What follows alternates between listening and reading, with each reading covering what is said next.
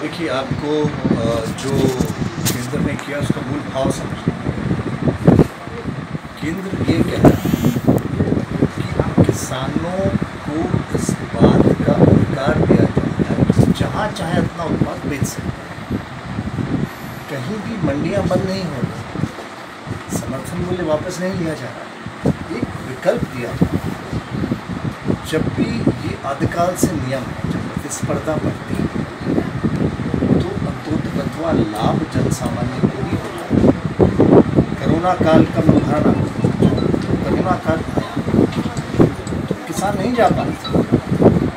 उस वक्त शिवराज सिंह जी ने कहा कि हम आपको ये सुविधा दें।